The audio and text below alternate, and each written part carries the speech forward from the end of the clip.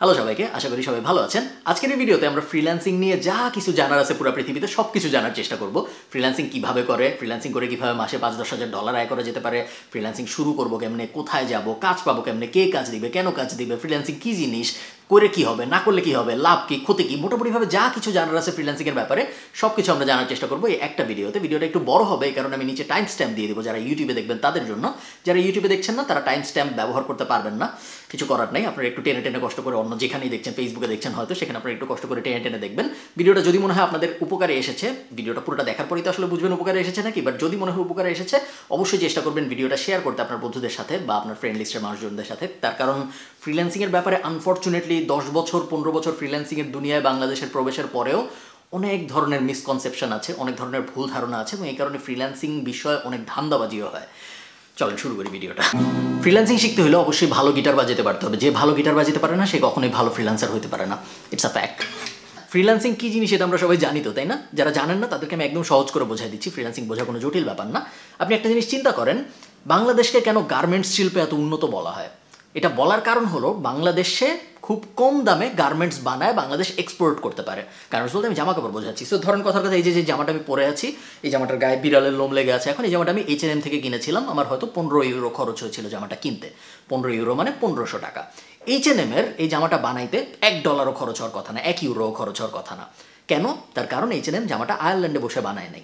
H N M এরকম লাখ লাখ জামা Bangladesh type দেশ থেকে বানায়, জাহাজে করে নিয়ে আসছে। যেই বাংলাদেশের গার্মেন্টসটা এই জামাটা বানিয়ে দিয়েছে, ওই বাংলাদেশের গার্মেন্টসটা একটা freelancer H N M Bangladesh থেকে এই জামাটা বানায় নিয়ে আসছে। এইচ এন এম এই জামাটা আউটসোর্স করেছে। অন্য আর একটা দেশ থেকে সোর্স করে নিয়ে আসছে। বোঝাতে পারছি আমি আপনাকে? ওটা হলো আউটসোর্সিং আর বাংলাদেশের গার্মেন্টসটা যেটা করল ওনার পার্সপেক্টিভ থেকে চিন্তা করলে এই জিনিসটা ফ্রিল্যান্সিং এই সেম ব্যাপারটা আগে শুধু ফিজিক্যাল গুডস নিয়ে করা যেত যে জিনিসগুলো ধরা ছোঁয়া যায়, ওই জিনিসগুলো নিয়ে করা যেত আমার পেঁয়াজ দরকার, আমি অমুক দেশ থেকে যে দেশে পেঁয়াজ সস্তা নিয়ে আসলাম। আমার জামা দরকার, আমি দেখলাম কোন দেশে জামা আসলে সস্তায় বানানো যায়, কোন দেশে লেবারের খরচ কম, ওই দেশ থেকে আমি সস্তায় জামা নিয়ে আসলাম। ইন্টারনেটের পেনিট্রেশনের পরে সুবিধাটা যেটা হয়েছে, এই জিনিসটা এখন ডিজিটাল জিনিসপত্র নিয়েও করা যায়। আগে যদি, অনেক আগে এক সময় যদি আমার ওয়েবসাইট দরকার হইতো, আমি আয়ারল্যান্ডে বসে আছি, আমার একটা ওয়েবসাইট দরকার, আমার আয়ারল্যান্ডেরই একজনকে খুঁজে বের করতে হইতো যে আমাকে ওয়েবসাইটটা বানায় দিবে। আমার একটা লোগো দরকার, আমার একটা এক্সেলের কাজে হেল্প দরকার, আমার একটা মাইক্রোসফট ওয়ার্ডে কিছু একটা লেখা দরকার। আমার আশপাশে যারা আছে তাদেরকেই আমার খুঁজে বের করতে হইতো, যারা ওই কাজে এক্সপার্ট আমার একটা গেম বানানো দরকার। ইউ গেট দ্য আইডিয়া আমার আশপাশের কোনো একটা মানুষকে খুঁজে বের করতে হইতো যে আমাকে এই কাজটা করে দিবে। ইন্টারনেট পেনিট্রেশনের সুবিধাটা যেটা হয়েছে, এখন আমার আশপাশের মানুষের উপর আমার আর নির্ভর করতে হচ্ছে না। ফিজিক্যাল ওয়ার্ল্ডে ওই যে যেভাবে এইচ এন এম বাংলাদেশ থেকে জাহাজে করে গার্মেন্টস এনে এইচ এন এম আয়ারল্যান্ডে বিক্রি করতো, ওই একইভাবে এখন আমরা ডিজিটাল ওয়ার্ল্ডে চাইলেই আমার যদি একটা ওয়েবসাইট দরকার হয়, আমি আয়ারল্যান্ডের একজনকে না খুঁজে, রাঙামাটির একজনকে খুঁজে বের করতে পারি, যে আমাকে ওয়েবসাইট বানায় দিবে। আমার লাভ কি? এইচ এন এম এর লাভ কি? কম দামে পাচ্ছে। আমার লাভও সেম আমি যখন তৃতীয় বিশ্ব থেকে বা দ্বিতীয় বিশ্ব থেকে একজনকে দিয়ে আমার ওই সেম কাজটা করাবো, ওই কাজটা করাইতে আমার প্রথম বিশ্বে যেই ধরনের খরচ হইতো, তৃতীয় বিশ্বে তার থেকে দশ ভাগের এক ভাগ, পনেরো ভাগের এক ভাগ খরচ হবে। আপনি নর্মালি চিন্তা করেন, আমার যদি আজকে একটা ওয়েবসাইট বানানোর দরকার হয়, আমি যদি আয়ারল্যান্ডের একটা এজেন্সিকে হায়ার করি ওয়েবসাইট বানানোর জন্য, আমার কাছ থেকে হয়তো পাঁচ হাজার ইউরো নেবে। কিন্তু এই সেম ওয়েবসাইট আমি যদি একটা ইন্ডিয়ান কোম্পানিকে হায়ার করি বা আমি যদি একটা বাংলাদেশি কোম্পানিকে হায়ার করি, তাহলে হয়তো আমি এক হাজার ইউরোতে ওটা করায় ফেলতে পারব। এই ব্যাপারটা ওই যে বাংলাদেশের যে লোকটা আমাকে করে দিচ্ছে সেম ওয়েবসাইটটা ওই বাংলাদেশি লোকটা ফ্রিল্যান্সার আর আমি এই ক্ষেত্রে আউটসোর্স করতেছি ওয়েবসাইটটা বোঝা গেছে ফ্রিল্যান্সিং কী জিনিস এবং আউটসোর্সিং কী জিনিস? চল, আমরা কম্পিউটারে যাই, আমাদের আরও অনেক কিছু দেখতে হবে। ওর নাম মাকলু, তবে ওকে ওর ফলোয়াররা অনেক সময় ফ্রিল্যান্সার মাকলুও বলে এবং আরও অনেকে ওকে মাকলু স্যার বলেও সম্বোধন করে। ওর সামনের বইমেলা একটা বই বের হবে, আমি অবশ্যই রেকমেন্ড করব বইটা কিনবেন এবং রকমারি ডট কমে ফাইভ স্টার রেটিং দিবেন এই বইটাকে। ঠিক আছে? মাকলু সবাইকে বাই বলো, সবাই ফ্রিল্যান্সার হতে চায়। তো আপনার মনে হয়তো প্রশ্ন আসছে যে, ভাই আমি সবই বুঝলাম, কিন্তু আমি ক্লায়েন্ট কীভাবে পাবো আসলে? ধরেন আমার একটা স্কিল আছে, আমি লোগো বানাইতে পারি, আমি ওয়েবসাইট বানাইতে পারি, আমি কোডিং করতে পারি, আমি অ্যানিমেশনের কাজ জানি, আমি ভিডিও এডিট করতে পারি, কাজ স্কিলের তো কোনো শেষ নাই বাট আমার এই স্কিল অনুযায়ী ক্লায়েন্ট আমি কীভাবে খুঁজে পাবো? গার্মেন্টসের জন্য তো সহজ গার্মেন্টস একটা বড় জিনিস গার্মেন্টস হয়তো এইচ এনএমকে ফোন দিয়ে বলছে যে, এই এইচ এনএম তোমার কি জামা দরকার? আমরা জামা দিতে পারব। গার্মেন্টস হয়তো ফোন দিয়ে বলতে পারছে বাট পুরো দুনিয়ায় একটা মানুষের কার কোন কাজ লাগবে, সেই কাজের স্কিল আমার আছে নাকি, এই সব কিছু আমি কীভাবে খুঁজে পাবো? এই জিনিসটা বোঝার জন্য আমাদের মার্কেট প্লেসের আইডিয়াটা বুঝতে হবে। মার্কেট প্লেস হলো এমন একটা জায়গা, আপনারা ফ্রিল্যান্সিংয়ের দুনিয়া মার্কেট প্লেস ওয়ার্ডটা অনেক বেশি খুঁজে পাবেন। মার্কেট প্লেস হলো এমন একটা জায়গা যেখানে ক্লায়েন্টরা বা পোটেনশিয়াল ক্লায়েন্টরা তাদের যে ধরনের কাজ লাগবে, ওই ধরনের কাজের কথা বলে পোস্ট করে জব এবং ওই জব পোস্টগুলো আপনি দেখতে পারবেন। ওই জব পোস্টগুলো দেখে দেখে আপনার যে জবগুলো মনে হয় আপনি করতে পারবেন, ওই জবগুলো আপনি বিড করতে পারবেন। এই ওয়ার্ডগুলো আমাদের একটু বুঝতে হবে। এগুলো মার্কেট প্লেস এগুলো ফ্রিল্যান্সিং এর সাথে জড়িত জিনিসপত্র। বিড বলা হয় কেন আমি ঠিক জানি না। বিড একটা নিলামের শব্দ বাট বিড করা বলতে আসলে ফ্রিল্যান্সিং এর দুনিয়ায় বোঝায় অ্যাপ্লাই করা। সো মার্কেট প্লেস থাকবে। মার্কেট প্লেসে বায়াররা আসবে মার্কেট প্লেসে ফ্রিল্যান্সাররাও সাইন আপ করবে এবং তারপরে ওই মার্কেট প্লেসে বায়াররা জব পোস্ট করবে। জব পোস্ট করার পরে সেই জবগুলোর মধ্যে থেকে আপনার যদি মনে হয় এই জবগুলোর মধ্যে এই জবটা আমি পারি, তখন আপনি ওই জবে অ্যাপ্লাই করবেন। অ্যাপ্লাই যখন আপনি করবেন, তখন ওই অ্যাপ্লিকেশনের ভিতরে আপনি বর্ণনা করবেন যে কেন আমি পারি নর্মাল জব অ্যাপ্লাই করার মতো একটা ব্যাপার। এবং তারপরে আপনি যদি সিলেক্টেড হন, তাহলে ওই বায়ার মার্কেট প্লেসটাকে টাকা দিবে এবং আপনাকে কাজ শুরু করতে বলবে। আপনাকে কিন্তু টাকা দিবে না, বেশিরভাগ ক্ষেত্রে। কখনো কখনো আপনাকে কিছু অ্যাডভান্স দিতেও পারে বাট বেশিরভাগ ক্ষেত্রে কমনলি যেটা হয়, সেটা হলো বায়ারটা মার্কেট প্লেসটাকে টাকা দেয়। তারপর আপনি কাজ শুরু করবেন। আপনার কাজ যখন শেষ হবে, আপনি বায়ারকে কাজ জমা দিবেন, তখন মার্কেট প্লেস টাকাটা রিলিজ করে আপনাকে দিবে। সো আমি যদি আমার স্ক্রিনটা আপনাদের দেখাই, আপনারা দেখতে পাচ্ছেন এখানে আমার স্ক্রিন এটা হলো আপওয়ার্ক ডট কম আর্গুয়েবলি ফ্রিল্যান্সারদের জন্য সবচেয়ে বড় মার্কেট প্লেসের নাম আপওয়ার্ক ডট কম আপনারা আমার প্রোফাইল দেখতে পাচ্ছেন। এখানে দেখতে পাচ্ছেন তিরিশ হাজার ডলার আয় করেছি আমি এবছর। আমি যদি মাই জবস আপনারা এখানে আমার পুরো জব হিস্ট্রি দেখতে পারবেন, আমার সব কাগজ কাজকর্মের হিস্ট্রি কোন কাজ কীরকম করেছি, কাজের রেটিং টেটিং সব কিছু দেখতে পারবেন, পুরো জিনিসটাই পাবলিক এখানে আমি আরেকটা ব্যাপার বলে রাখি, আপনি যদি কারও কাছ থেকে ফ্রিল্যান্সিং শিখেন এবং সে যদি আপনাকে এরকম কিছু দেখাইতে না পারে, তার মানে হলো সে আসলে নিজে ফ্রিল্যান্সিং করে খুব ভালো করতে পারে নাই জীবনে। এবং নিজে যে ফ্রিল্যান্সিং করে খুব ভালো করতে পারে নাই তার কাছ থেকে আসলেও ফ্রিল্যান্সিং শেখা উচিত নাকি? এটা নিয়ে আপনার একটু ভাবা উচিত। আমার মতে উচিত না। আমি যদি মাই জবসে যে আপনি দেখবেন এখানে আমি একটু আগে যখন লগ ইন করেছি তখন আমি খেয়াল করেছি, আগে দেখি নেই আমার এখানে উনিশ হাজার ডলারের মতো এখনও আছে যেটা আমি উঠাই নাই। এটা অনেকদিন ধরে এখানে আছে। তার কারণ যদিও এখন আর আমি ফ্রিল্যান্সিং করি না, কিন্তু আমার অনেকগুলো পুরানো ক্লায়েন্ট আছে যাদের আমি এখনও রেগুলারলি আপওয়ার্কেই বিল করি। এদেরকে আমি ক্লায়েন্ট পেয়েছি যখন আমি ফ্রিল্যান্সার ছিলাম ওই সময় এবং এখনও গত তিন, চার, পাঁচ বছর ধরে আমি তাদের সাথে কাজ করে যাচ্ছি। এবং যেহেতু তাদের সাথে আমার পরিচয় আপওয়ার্কে আমি এখনও তাদেরকে প্রত্যেক সপ্তাহে, প্রত্যেক মাসে আপওয়ার্কেই বিল পাঠাই এবং তারপরে তারা আপওয়ার্কেই আমাকে টাকা দেয়। তো এটা হলো একটা মার্কেট প্লেসের উদাহরণ। এটা একটা general market place general market place মানে হলো এই মার্কেট প্লেসে সব ধরনের কাজ পাওয়া যায়।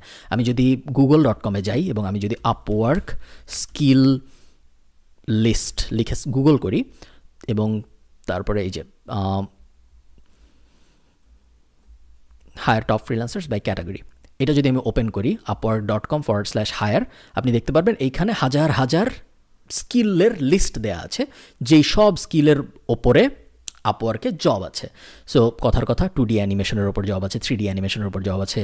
আপনি ক্যাটাগরি চেঞ্জ করলে আরও অনেক অপশন দেখতে পারবেন legal legal adviser international tax লিস্টের কোনো শেষ নেই। হাবি যাবি হাজার হাজার রকমের কাজ আপওয়ার্ক আছে আপওয়ার্ক একটা জেনারেল মার্কেট প্লেস যেখানে সব ধরনের কাজের জন্য ক্লায়েন্টরা ফ্রিল্যান্সার খুঁজে পেতে পারে এবং আপনি যদি এই হাজার হাজার লিস্টের মধ্যে কোনো কাজের ব্যাপারে একজন এক্সপার্ট হন এবং আপনি যদি আপওয়ার্কে একটা প্রোফাইল খোলেন, তারপরে আপনি যখন এখান থেকে ফাইন্ড ওয়ার্কে চাপ দিবেন, তখন আপনি কাজের লিস্ট দেখতে পারবেন যে কাজগুলো ক্লায়েন্টরা পোস্ট করেছে এবং তখন আপনি ওই কাজগুলো বিড করতে পারবেন বা অ্যাপ্লাই করতে পারবেন এবং তারপরে যখন আপনার অ্যাপ্লিকেশনটা অ্যাকসেপ্টেড হবে, তখন আপনি কাজ শুরু করতে পারবেন এবং পুরো প্রসেসটার মধ্যে আপওয়ার্ক একটা মিডিয়া হিসেবে কাজ করবে, আপনার মধ্য সত্তা হিসেবে কাজ করবে এবং আপওয়ার্ক এই ব্যাপারটা নিশ্চিত। যেহেতু আপনি ক্লায়েন্টকে চিনেন না ক্লায়েন্ট আপনাকে চিনেন না সো আপনার এটা নিশ্চিত করতে হবে যে ক্লায়েন্ট আপনাকে আসলেও টাকা দিবে কাজের পরে। আবার ক্লায়েন্টেরও এটা নিশ্চিত করতে হবে যে আমি আসলে কাজ পাবো টাকা দিলে। ওই সব কারণে আপওয়ার্ক একটা মিডল ম্যান হিসেবে কাজ করে। এই মিডল ম্যান হিসেবে কাজ করার জন্য আপওয়ার্ক প্রত্যেকটা প্রজেক্টের বিশ পার্সেন্ট নিয়ে নেয়। আমি এখানে আপওয়ার্ককে এক্সাম্পল হিসেবে দেখাচ্ছি, তার কারণ আমি সবসময় আপওয়ার্ক ব্যবহার করেছি। বাট তার মানে এই না যে আপনারও আপওয়ার্ক ব্যবহার করতে হবে। ডিপেন্ডিং অন আপনার স্কিল কি, অনেক ধরনের ফ্রিল্যান্সিং প্ল্যাটফর্ম আছে। আরও কিছু জনপ্রিয় আছে, তার মধ্যে একটার নাম আপনারা অনেকেই শুনবেন। এটার নাম হলো Fiverr dot com Fiverr dot com বেশ জনপ্রিয় বাংলাদেশের মানুষের মধ্যে। আরেকটা আছে যেটার নাম হলো People Per Hour dot com People Per Hour আমি ছোটোবেলায় কাজ করেছিলাম আমার মনে আছে, এটাও বেশ জনপ্রিয়। আরেকটা আছে নাম হলো গুরু ডট কম গুরু ডট কম এটাও বেশ, এটা আসলে অত জনপ্রিয় না বাট এটাও আমার মনে আছে আমি ছোটোবেলায় বই টই লেখার কাজ করে বেশ ভালোই আয় রোজগার করেছিলাম। আরেকটা আছে বেশ জনপ্রিয় যেটার নাম ফ্রিল্যান্সার ডট কম একসময় অনেক জনপ্রিয় ছিল এটা বাট এটার পপুলারিটি এখন আস্তে আস্তে ঘাটতির দিকে। এগুলো জাস্ট কতগুলো, এগুলো সব কমন মার্কেট প্লেস তার মানে হলো এগুলাও বিভিন্ন ধরনের কাজের জন্য আপনি ফ্রিল্যান্সারও খুঁজে পাবেন, বিভিন্ন ধরনের কাজের জন্য আপনি ক্লায়েন্টও খুঁজে পাবেন। এছাড়াও স্পেশালাইজড মার্কেট প্লেস আছে, শুধু প্রোগ্রামারদের জন্য মার্কেট প্লেস আছে, শুধু ডিজাইনারদের জন্য মার্কেট প্লেস আছে, শুধু ক্যারেক্টার ডিজাইনারদের জন্য মার্কেট প্লেস আছে, শুধু অ্যানিমেশন যারা বানায় তাদের জন্য মার্কেট প্লেস আছে, শুধু রাইটার যারা তাদের জন্য আলাদা মার্কেট প্লেস আছে, ওই, ওগুলো হলো স্পেশালাইজড মার্কেট প্লেস আপনি যদি নতুন হন, আমার রেকমেন্ডেশন হবে আপনি জেনারেলাইজড মার্কেট প্লেসগুলোতেই থাকেন। জেনারেলাইজড মার্কেট প্লেসগুলোতে কাজ পাওয়া একটু কম্পারেটিভলি সহজ এবং জেনারেলাইজড মার্কেট প্লেসগুলোতে কাজের ভলিউমও বেশি। মানে অনেক ক্লায়েন্ট প্রতিদিনই হাজার হাজার, লাখ লাখ কাজ পোস্ট করে এখানে। তো ফ্রিল্যান্সিং কী জিনিস এটা আমরা জানলাম মার্কেট প্লেস কী জিনিস এটা আমরা জানলাম মার্কেট প্লেসে কীভাবে ক্লায়েন্ট এবং ফ্রিল্যান্সার একে অন্যকে খুঁজে নেয় মার্কেট প্লেস কীভাবে ইন্টারমিডিয়ারি বা মধ্য মানব হিসেবে কাজ করে যেন ক্লায়েন্টের টাকাও লস না হয়, আবার আপনার আপনিও যেন কাজ দিয়ে টাকা পান, ওসব ব্যাপারে আমরা এখন আইডিয়া পেয়ে গিয়েছি। এখন আমাদের অ্যাকচুয়াল নিটিগ্রিটি ডিটেলে যেতে হবে যে আমি আসলে শিখবোটা কি, আমি ফ্রিল্যান্সার হব কীভাবে, ওই ব্যাপারটা জানার জন্য আমাদের আবার আমাদের স্ক্রিনে যেতে হবে। চলেন যাওয়া যাক। আচ্ছা আমি একটা ব্যাপার আপনাদের বলে রাখি স্ক্রিনে যাওয়ার আগে, সেটা হলো ফ্রিল্যান্সিং করা মানে কিন্তু বিভিন্ন মার্কেট প্লেসে যে অ্যাকাউন্ট খুলে ফেলা না আপনারা হয়তো জানেন অ্যাকাউন্ট খোলার দিক থেকে হিসাব করলে বাংলাদেশ ফ্রিল্যান্সার হিসেবে পৃথিবীতে সেকেন্ড সো ফ্রিল্যান্সারের সংখ্যার দিক থেকে বাংলাদেশ পৃথিবীতে দ্বিতীয়। এটা বলে আপনি দেখবেন বিভিন্ন সরকারের উচ্চ মহল বা বিভিন্ন বড় বড় ফ্রিল্যান্সাররা অনেক সময় বাহবা পাওয়ার চেষ্টা করে যে, দেখো, বাংলাদেশ এখন ফ্রিল্যান্সারের পৃথিবীতে দ্বিতীয়। কিন্তু এরা আসলে ফ্রিল্যান্সারের সংখ্যার দিক থেকে দ্বিতীয়। এখন আপনি বাংলাদেশে মানুষ বেশি, যেহেতু বাংলাদেশে অনেক মানুষ আমরা মোটামুটি যে কোনো জায়গায় সংখ্যার দিক থেকে অনেক উপরে থাকি। আপনি ইউটিউব চ্যানেলের দিক থেকে বাংলাদেশে অনেক ইউটিউব চ্যানেল ফেসবুক অ্যাকাউন্টের দিক থেকে বাংলাদেশ হয়তো টপ টেনে থাকবে। জিমেইল অ্যাকাউন্ট খোলার দিক থেকে বাংলাদেশ হয়তো টপ ফাইভে থাকবে। এগুলো তো কোনো স্কিলের মধ্যে পড়ে না। যে দেশে মানুষ বেশি, ওই দেশে অ্যাকাউন্ট বেশি হবেই। সো অনেকে ভাবে কি যে ফ্রিল্যান্সিং করার মূল উপায়টা বা ফ্রিল্যান্সিং করতে যে আমরা যে পারতেছি না ফ্রিল্যান্সিং করতে, তার কারণ আমাদের মার্কেট প্লেসে অ্যাকাউন্ট নেই। এটা একদমই সত্য কথা না। মার্কেট প্লেস আপনার তখনই কাজে আসবে যখন আপনার স্কিল আছে। যদি আপনার স্কিল না থাকে, আপনি হাজার হাজার লাখ লাখ মার্কেট প্লেসে যে অ্যাকাউন্ট খুলে রাখলে, এরকম আপওয়ার্ক ডট কমের মতো লাখ লাখ জায়গায় যে অ্যাকাউন্ট খুলে রাখলে আপনার কোনো লাভ নেই। তার কারণ ইভেনচুয়ালি ধরেন আপনি বললেন যে আমি কাজ করতে চাই। আমি যদি আপনাকে বলি যে, তুমি বিডি জবসে যে একটা অ্যাকাউন্ট খুলো তাহলে কি আপনি কখনো কাজ পাবেন? পাবেন না। আপনি কাজ তখনই পাবেন যখন আপনার স্কিল আছে তারপরে যে আপনি যখন বিডি জবসে অ্যাকাউন্ট খুলবেন, তখন যখন আপনি জবে অ্যাপ্লাই করবেন, তখন আপনি ওই অ্যাপ্লিকেশনগুলোর রেসপন্স পাবেন। যদি আপনার স্কিল না থাকে এবং আপনি যদি প্রথম স্টেপটাই যদি হয় যে আমি বিডি জবসে যে অ্যাকাউন্ট খুলবো, এবং জন্মের পরেই যদি আমরা বাচ্চাকে বিডি জবসে অ্যাকাউন্ট খোলাই দেই, তার bachelor degree masters degree school college সব কিছু বাদ দিয়ে, ওই বাচ্চা তো কখনো চাকরি পাবে না, তাই না? একইভাবে আপনি যখন ফ্রিল্যান্সিং হিসেবে আপনার ক্যারিয়ার শুরু করতেছেন, প্রথম স্টেপ আপওয়ার্ক ডট কম বা ফাইবার ডট কম এসব জায়গায় যে অ্যাকাউন্ট খোলা না। প্রথম স্টেপ হলো অ্যাকচুয়াল স্কিল অ্যাকোয়ার করা অ্যাকচুয়াল স্কিল অর্জন করা। স্কিল যখন আপনি অর্জন করবেন, তারপরে আপনি খুব সহজেই যায় বিভিন্ন মার্কেট প্লেসে অ্যাকাউন্ট খুলতে পারবেন। অনেক যদি স্কিল্ড হয়ে যান, তখন হয়তো আপনার মার্কেট প্লেস লাগবেই না। আপনি ওই ওগুলো নিয়ে আমরা আরেকটা ভিডিওতে আরও ডিটেলে কথাবার্তা বলব বাট অনেক স্কিল হয়ে গেলে, যেমন আমার কিন্তু মার্কেট প্লেস এখন আর লাগে না। ক্লায়েন্টরাই আমার কাছে আসে, আমার যেতে হয় না ক্লায়েন্টদের কাছে। তো প্রথম প্রথম স্টেপ যেটা, সেটা হলো আমাদের অবশ্যই স্কিল অর্জন করতে হবে।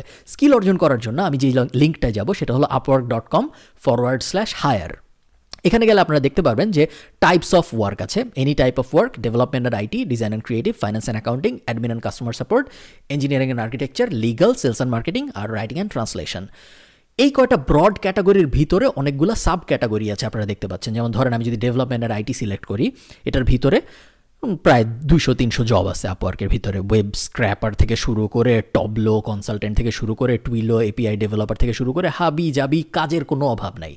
এটা আমি আপনাদের এই জন্য দেখাচ্ছি, তার কারণ অনেকে আছে যারা জানে তারা কি শিখতে চায়। অনেকে আছে যে, আমার লিখতে ভালো লাগে, আমি রাইটার হয়ে, হতে চাই, আমি রাইটার হয়ে ফ্রিল্যান্সিং করব। অনেকে ভাবে যে, আমার ফটো এডিট করতে ভালো লাগে, আমি ফটো এডিটর হিসেবে ফ্রিল্যান্সিং করব। অনেকে ভাবে যে, আমি ইলাস্ট্রেশন নিয়ে কাজকর্ম করব। যে দেখেন, আমার এখানে একটা ইলাস্ট্রেশন করা আছে।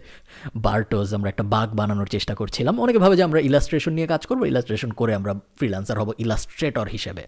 আপনি যদি অলরেডি জানেন আপনি কী নিয়ে ফ্রিল্যান্সিং করতে চান, তাহলে এই স্টেপটা আপনার জন্য না। এই স্টেপটা তাদের জন্য, যারা জানে না তারা কী নিয়ে ফ্রিল্যান্সিং করবে। সো আমি ধরে নিচ্ছি আপনি জানেন না আপনি কী নিয়ে ফ্রিল্যান্সিং করবেন, আপনি ভাবতেছেন যে কী নিয়ে ফ্রিল্যান্সিং করা যায়। আমি এই লিঙ্কটায় আসব। এই লিঙ্কটা আসার পরে আমি এখান থেকে একটা ব্রড ক্যাটাগরি সিলেক্ট করব। এই সাতটা যে ক্যাটাগরি আছে ডেভেলপমেন্ট ডিজাইন ইত্যাদি ইত্যাদি, এগুলোর মধ্যে থেকে আমি একটা ব্রড ক্যাটাগরি সিলেক্ট করব, যেই ক্যাটাগরিতে আমার একটু আগ্রহ আছে। সো কথার কথা ধরেন আমি admin and customer support select করলাম। আমি ধরে নিলাম অ্যাডমিন অ্যান্ড কাস্টমার সাপোর্টে আমার আগ্রহ আছে। নেক্সট কাজ অ্যাডমিন অ্যান্ড কাস্টমার সাপোর্টের ভিতরে আমি আটত্রিশটা সাব সেগমেন্ট দেখতে পাচ্ছি। এখন আমার চিন্তা করতে হবে, এগুলোর কোনটার ভিতরে আমার আগ্রহ আছে? ধরেন আমি ঠিক করলাম, আমার ট্রান্সক্রিপশনের উপরে আগ্রহ আছে, বা আমি আরও সহজ কিছু ধরি। ধরেন এক্সেল এক্সপার্ট এটা আমি সিলেক্ট করলাম। এক্সেল এক্সপার্ট আমি যখন সিলেক্ট করব, আমি ফ্রিল্যান্সারদের দেখতে পারব যেই ফ্রিল্যান্সাররা এক্সেল এক্সপার্ট হিসেবে খুব ভালো করতেছে এখন আপওয়ার্কের ভিতরে। এখন আমি যেটা করব, আমি সি মোরে ক্লিক করব। আমি অনেকগুলো জব যে ফিল আপ করেছে অলরেডি এরকম একজনের প্রোফাইল খুঁজতে চাই। সো এই যে সাবু কে উনি একশো এগারোটা জব ফিল আপ করেছে আমি দেখতে পাচ্ছি। মানে উনি একশো এগারোটা প্রজেক্টে কাজ করেছে এ পর্যন্ত। সো আমি যদি সি মোরে ক্লিক করি সিমোরে ক্লিক করলে ওনার প্রোফাইলটা ওপেন হবে। একটু আগে আমি ভিডিও শুরুতে যেরকম আমার প্রোফাইল ওপেন করে দেখাচ্ছিলাম, সেরকম আমরা সাবু কুমারের প্রোফাইলটা ওপেন করলাম এখন। উনি দশ হাজার ডলার আয় করেছে এখন পর্যন্ত এবং কত ডলার আয় করেছে এটা আমাদের দেখতে হবে। তার কারণ আমরা জানতে চাই যে যে স্কিলটা আমরা সিলেক্ট করতেছি, ওই স্কিলে অলরেডি সাকসেসফুল ফ্রিল্যান্সার আছে নাকি? যদি আমরা দেখি যে স্কিলটা আমরা সিলেক্ট করছি, ওই স্কিলের ভিতরে মাত্র পাঁচটা ফ্রিল্যান্সার আছে, তাদের কেউই পাঁচশো ডলারের বেশি আয় করে নেই তাহলে ওই স্কিলটা সিলেক্ট করা উচিত হবে না, কারণ ওই স্কিলের ভিতরে হয়তো এনাফ কাজই নেই। এক্ষেত্রে আমরা দেখতে পাচ্ছি দশ হাজার ডলার আয় করেছে উনি এবং আমরা যদি একটু নিচে নামি, আমরা জবগুলো দেখতে পারব। জবগুলো আমরা খুব ভালো মতো পড়ব, কারণ জবগুলো পড়লে আমরা বুঝতে পারব, ওই ধরনের জব আমি করতে চাই নাকি। সো প্রথম জবটা যেটা উনি ফিল আপ করেছে, উনি অগাস্টের পাঁচ তারিখে জবটা করেছে। অগাস্টের পাঁচ থেকে নভেম্বরের পঁচিশ তারিখ পর্যন্ত উনি এই কাজটা করেছে।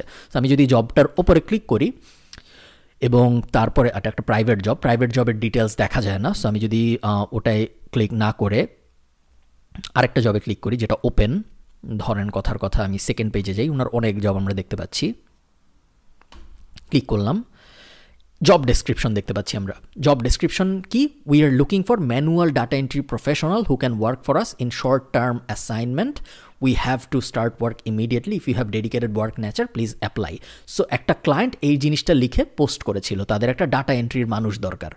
এরপরে এই সাবুজে উনি অ্যাপ্লাই করেছে এবং উনি অ্যাপ্লাই করার পরে উনি এই কাজটা পেয়েছে। কাজটা পাওয়ার পরে উনি কত টাকা পেয়েছে? ষাট ডলার পেয়েছে সম্ভবত এই জবটা থেকে, এটাই ক্লিক করেছিলাম না? সো এগুলো এইভাবে যখন আপনি প্রত্যেকটার জবের ডেসক্রিপশন পড়বেন, আবারও আমরা ব্যাকে চলে যাব। ব্যাকে চলে যেয়ে আমরা আরেকটা ক্যাটাগরি সিলেক্ট করব। আরেকটা ক্যাটাগরি সিলেক্ট করে আবার ওখান থেকে ফ্রিল্যান্সার সিলেক্ট করব। ফ্রিল্যান্সার সিলেক্ট করে ওই ফ্রিল্যান্সার কী কী জব করেছে, ওই জবগুলোর ডেসক্রিপশন পড়ব।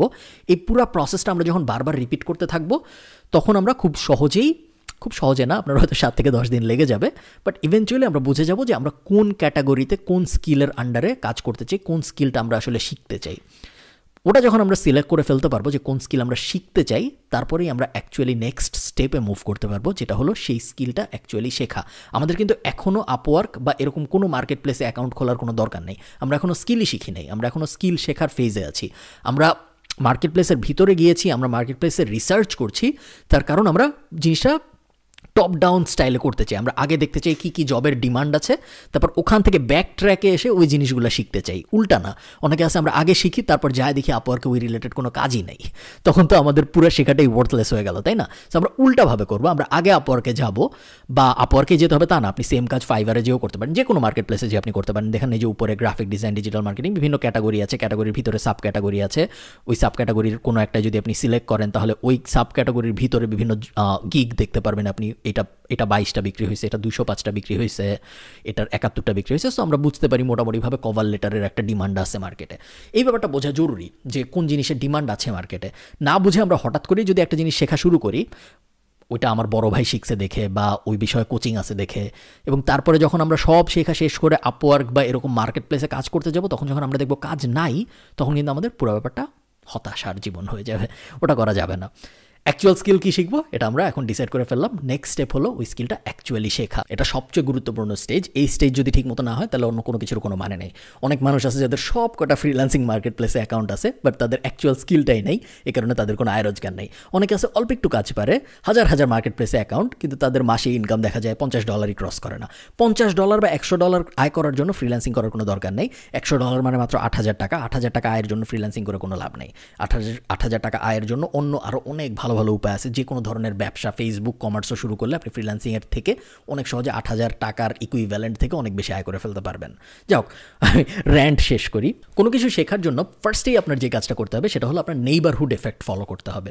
নেইবারহুড এফেক্ট কী জিনিস? নেইবারহুড এফেক্টের মানে হলো আমরা যেখান থেকে ইনফরমেশন কনজিউম করি, ওই জায়গায় আমরা যা শিখতে চাই তা আমরা অটোমেটিক্যালি প্লেস করে দিব। যেন নেক্সট টাইম আমরা যখন ওই জায়গায় যাব কনজিউম করতে কোনো কিছু, তখন আমরা যেন এই জিনিসটা ন্যাচারালি ওখানে পাই। আমি একটা এক্সাম্পল দিয়ে বলি, তাহলে আমাদের বুঝতে খুব সুবিধা হবে।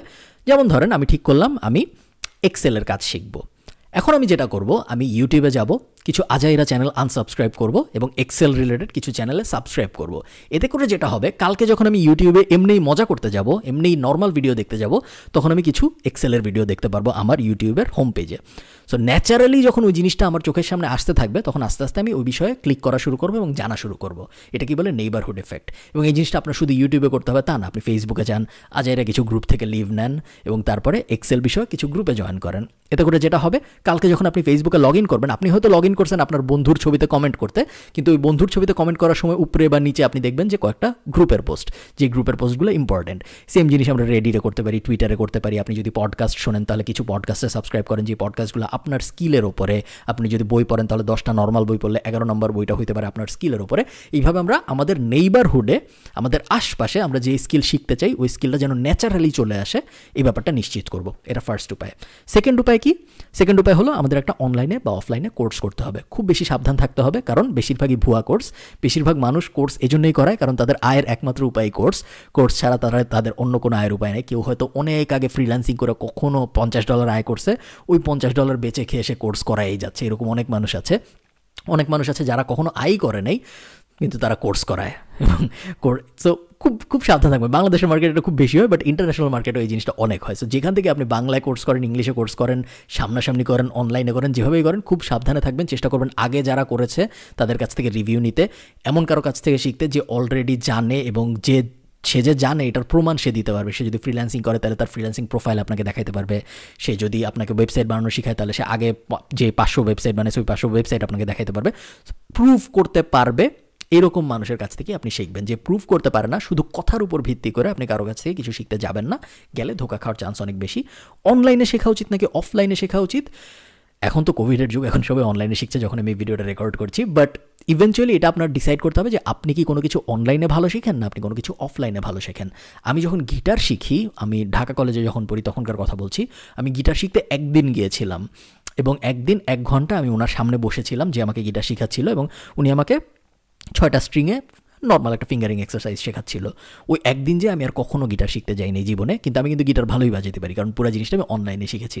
যদি আমি অনলাইনে না শিখে লাইভ গিটার শেখার চেষ্টা করতাম, তাহলে আমার কখনো গিটার শেখা হইতো না, কারণ ওই সামনে যে এক ঘণ্টা বসে থেকে বোরিং একটা কাজ করতে হয়, ওই জিনিস আমি কখনো করতে পারতাম না। অন দ্য আদার হ্যান্ড এমন মানুষ অনেক আছে যারা অফলাইনে গিটার শিখেছে এবং তুখোর গিটার বাজায়, খুব ভালো গিটার বাজাতে পারে, তাই না? অনলাইনে শিখেছে এরকম মানুষই হয়তো কম অফলাইনে শিখেছে এরকম মানুষের সংখ্যায় হয়তো বেশি। সো আপনার ডিসাইড করতে হবে যে আপনি কোনো জিনিস অনলাইনে ভালো শেখেন না অফলাইনে ভালো শেখেন? এটা আপনার জন্য কেউ বলে দিতে পারবে না। পুরো ব্যাপারটি আপনার নিজেকে নিজের প্রশ্ন করে ডিসাইড করতে হবে যে আমি আসলে কোন জিনিস অনলাইনে ভালো শিখি? আমি কি আসলে কোনো কিছু অনলাইনে ভালো শিখতে পারব না অফলাইনে ভালো শিখতে পারব? থার্ড যে উপায়, আমি যদি কোর্স টোর্স করতেও না চাই, সেক্ষেত্রে লাস্ট আমাদের মানে ফাইনাল যে উপায়, সেটা হলো আমি গুগল এবং ইউটিউব আমাদের বন্ধু বানিয়ে ওইসব জায়গায় ফ্রি রিসার্চ করা শুরু করব। মোটামুটি দুনিয়ায় যা কিছু আছে, যত স্কিল আছে, যত কঠিন স্কিলই হোক, যদি রকেট বানানোর স্কিলও হয়, তাও আপনি গুগলে ফ্রি পাবেন বা ইউটিউবে ফ্রি পাবেন। আপনার খালি কষ্ট করে রিসার্চ করতে হবে। বই বই পড়ে প্লাস গুগল প্লাস ইউটিউব এই তিনটার ব্যবহার করে আপনি মোটামুটিভাবে পৃথিবীতে যা শেখা সম্ভব সব কিছু শিখে ফেলতে পারেন।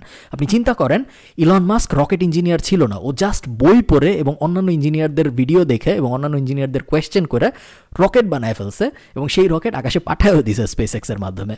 Anything is possible free resource use করে। সে আপনার কোর্স করতেই হবে, এমন জরুরি না। বাট কোর্স করলে যেটা হয়, অনেক সময় স্টেপগুলো একটু সহজ হয়ে যায়। আবার এমন হতে পারে, আপনি এমন কিছু একটা শেখার চেষ্টা করতেছেন, যেই জিনিসের আসলে কোর্স নাই, তখন তো আপনার আসলে কোনো অপশনস থাকবে না। আপনার একমাত্র অপশনস তখন হবে ফ্রি রিসোর্সেস ব্যবহার করা।